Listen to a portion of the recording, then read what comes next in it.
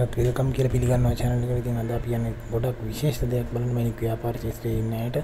ඉතින් ලංකාවම කතා කරගෙන ලංකාවේ දැවැන්තම මැණික් වෙන ප්‍රදර්ශනය පැවැත්වෙනවා රත්නපුර නගරයේ. ඉතින් ජාතික මැණික් අසරණ වර්ණ අධිකාරිය රත්නපුරේ වෙළඳ ව්‍යාපාර ප්‍රජාවත් එකතු වෙලා තමයි මේ වැඩසටහන කරගෙන යන්නේ. ඉතින් අපි ඒ ග්‍රෑන්ඩ් සිල්වරේ හෝටලයට ඉතින් ඒකේ තමයි මේ ප්‍රදර්ශනය පැවැත්වුනේ. ඉතින් මුලින්ම රෙජිස්ටර් එකක් කරනවා. රෙජිස්ටර් එකෙන් පස්සේ අපිට මේ වගේ ටැග් එකක් දෙනවා. ඒකත් අරගෙන අපිට යන්න පුළුවන් ප්‍රදර්ශනය ඉදිරියට බලන්න. මුලින්ම තියෙන මේක කැලණිය රජමහාවිහාරයට පූජා කරන මේ මැණික් පුටුව ඊට පස්සේ මේ පුරමිණි මියුසියම් ආයතනයට අයිති දකුණු ආසියාවේ විශාලම නවරත්න සෙට් එක අපිට බලා ගන්න පුළුවන්. ඉතින් නවරත්න සෙට් ගැන අපි විශේෂ වීඩියෝ එකක් කරලා තියෙනවා channel එකේ. ඒක කරලා නැත්නම් අපි ඩිස්ක්‍රිප්ෂන් එකේ දාන්නම්. ඒක කරනත් බලලා නවරත්න මැණික් ගැන අවබෝධයක් ගන්න. ඊළඟට රත්නපුරේ ඉඳපු ප්‍රධාන පෙළේ මැණික් ව්‍යාපාරික ගුරුකේ මැණික් ආයතනයේ ප්‍රදර්ශන කුටියට තමයි අපි මුලින්ම යන්නේ. ඉතින් ඒකෙත් ගොඩක් වටිනා සහ ලස්සන මැණික් ගොඩක් ප්‍රදර්ශනය කරලා තිබුණා. ගුරුගේ මැණික් පද කිව්වහම ගොඩක් රත්නපුරේ ප්‍රසිද්ධ ව්‍යාපාරිකයෙක්. ඉතින් ඊට පස්සේ අපි ඇතුළට යනවා. ඉතින් ඇතුළට යනකොට ගොඩක් හුරු පුරුදු නමක් තියෙන්නේ ගොඩක් අපිට සමීප නමක් තියෙන්නේ නිහාල් ජේම්ස් ආයතනය මම හිතන්නේ අද නෝ ලංකාව විතරට නෙමෙයි මම හිතන්නේ මුළු ලෝකෙම මම හිතන්නේ විශ්වාසනීය මැණික් සම්මානයක් තමයි නිහාල් ජේම්ස් කියන්නේ. ඉතින් ඒ ආයතනයේ ගොඩක් ලස්සන මැණික් එකතුවක් ඉදිරිපත් කරලා තිබුණා. ඒ වගේම ගොඩක්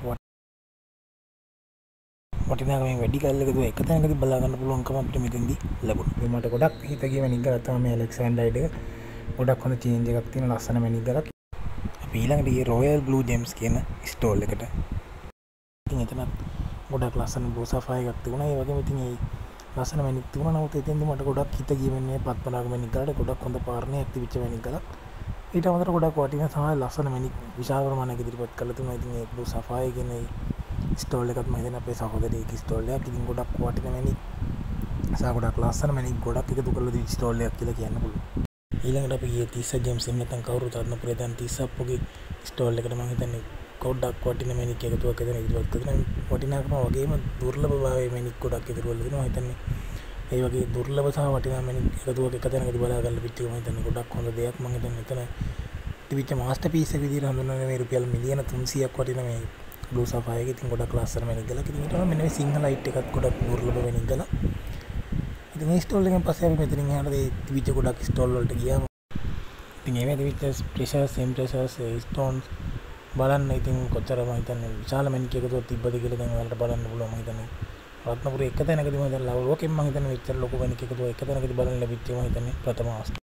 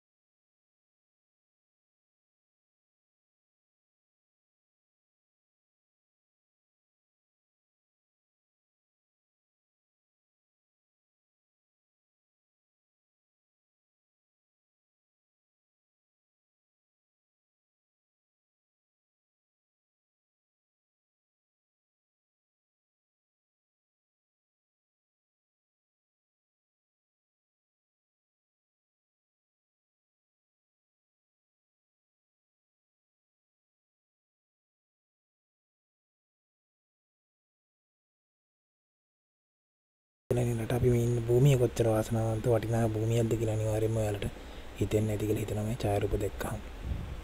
දැන් අපි යන්නේ මිනිපුර මිනි මියුසියම් කියන ආයතනයට. ඉතින් මේ මේ ආයතනයේ සතුව තමයි තියෙන ලෝකේ විශාලම කොබෝල්ට් කිරින්චි ස්පටික පද්ධතිය. මේක කිලෝ 2 ග්‍රෑම් 200ක් බරයි. මම හිතන්නේ ඉතාම වටින භාෂානුවරක තමයි කොබෝල්ට් කියන්නේ. ඉතින් ඒකේ විශාලම ස්පටික පද්ධතිය තියෙන මිනිපුර මිනි මියුසියම් ආයතනේ. මේ තියෙන අපි සාමාන්‍යයෙන් පාවිච්චි කරන මැණික් වල ක්‍රිස්ටල් ෂේප් එක. එහෙම නැත්නම් අපි කියනවා මවපාශානය පිටීම කියලා අපි කියන. ඉතින් මේකත් ගොඩක් හොයාගන්න අමාරු දුර්ලභ මැණික් එකතුවක් මේ එකතුව තියෙන්නේ මිනිපුර මිනි මියුසියම් ආයතනයේ සතුව. ඉතින් ඒක ගොඩක් වටින එකතුවක් කියලා කියන්න පුළුවන්. මැණික් විතරක් නෙමෙයි මෙතන මැණික් වලින් හදපු ලස්සන ජුවලරි එහෙම නැත්නම් ආභරණ එකතුවක් තිබුණා. ඉතින් අපි බලමු ඒ ආභරණ එකතුව කොච්චර ලස්සනයිද කියලා.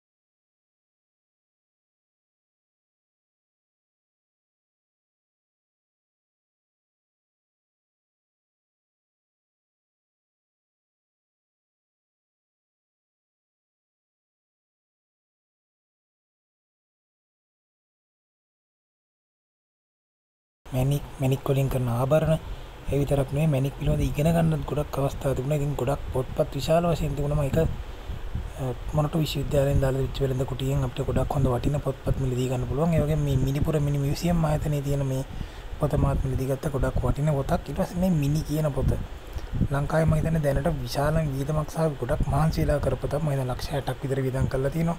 ඉතින් මම හිතන්නේ මැනික් වල ඡායාරූප 1500කට වැඩි ප්‍රමාණයක් තියෙනවා. ඒක නියම වර්ණය ගන්න ඕනින්ද ඒ පින්ටිං කටයුතු වලට ඉන්දියාවට පවා යවලා තමයි මුද්‍රණය කරලා තියෙන්නේ. ඒක ගොඩක් වටින පොතක්. ඉතින් මේ මල්ලි තමයි පොතේට ගොඩක් මහන්සි වෙලා තින්නේ. එයා තමයි ඒක මූලිකත්වය අරගෙන කටයුතු කරලා තින්නේ.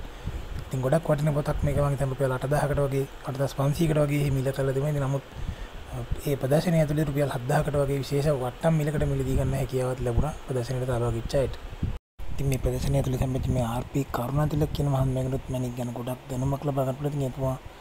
ඉතින් එතුමා ඒ මැනික් සම්බන්ධ පාඨමාලා කරන ගුරුවරයෙක්. ඉතින් ඊට අමතරව මෙතෙන්දි මේ හම්බුණා මේ පුංචි මැනික් ව්‍යාපාරිකය තමයි මම හිතන්නේ මේ ව්‍යාපාරේ ඉදිරි අනාගතේ මම හිතනවා හොඳ ව්‍යාපාරිකයෙක් වෙයි කියලා හිතනවා. ඉතින් එයාගෙනුත් අපි මැනික් ගණක් මිලදී ගත්තා. ඒ වගේම මේ වගේ මැනික් සහ සරණබන්න අධිකාරීන් සපයන සේවාවන් මැනික් සහතික වගේ දේවල් ගැන දේශන විටින් විටි පවත්වනවා. ඉතින් ඒ වගේනුත් ලොකු දැනුමක් ගන්න පුළුවන්. ඊළඟට අපි ගියේ මේ ආනන්ද මයිනස් ඒ ආයතනයේට මම හිතන්නේ වීඩියෝස් බලලා එනම් මතකයි දැන් අපි මීට ටික කාලයකට කලින් අපි ආනන්ද මයිනස් එකෙන් අපි ගැරුම් යන්ත්‍රයක් මිලදී ගත්තා. ඉතින් ඒ වීඩියෝ එක බැලුවේ නැත්නම් බලන්න ඒකත් මම ඩිස්ක්‍රිප්ෂන් එකේ දාන්නම්.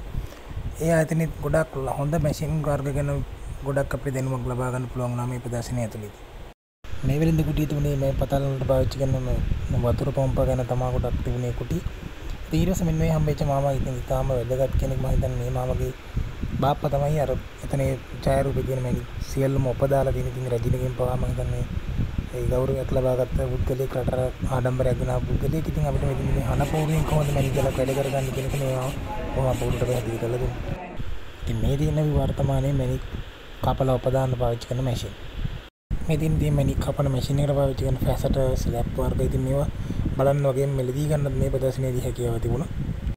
මේ තියෙන මැනික් තාප පිරියම් කරන්න පාවිච්චි කරන උඳුනක් මේක ලක්මිය උඳුන කියලා තමයි හඳුන්වන්නේ. ඉතින් මේකත් ගැනත් මෙතන ප්‍රදර්ශන කුටියක ගොඩක් හොඳට පැහැදිලි කරනවා. ඉතින් මේ තියෙන වර්තමානයේ පාවිච්චි කරන හීට් කරන උපකරණ ඉතින් ඒ පිළිබඳව ලොකු දැනුමක් හමුණා. ඉතින් මේ තියෙන මැනික් පරීක්ෂා කරන උපකරණ මෙතෙන් දිත් ඒ පරීක්ෂා කරන උපකරණ ගැන දැනගන්න වගේ මේවා මිලදී ගන්න හැකියාව තිබුණා. ඉතින් මෙතන මේ ෂෝරූම් එකේ ගොඩක් ලස්සන ටෝච් එකතුවක් තිබුණා. මම හිතන්නේ ගොඩක් ප්‍රයෝජනවත් ටෝච්. මම හිතන්නේ විශාල ප්‍රමාණයක් තියෙන වගේම හොඳ වට්ටම් මිලන් යටතේ ලබා ගන්නත් අපිට හැකියාව තිබුණා. මම හිතන්නේ නවීනම ටෝච් වර්ග විශාල ප්‍රමාණයක් තිබුණා. ගොඩක් අඩු මිල ගණන් වලට වගේම ගොඩක් වට්ටම් තිබුණා ඒ මුලේ ෂෝරූම් එක පුරා.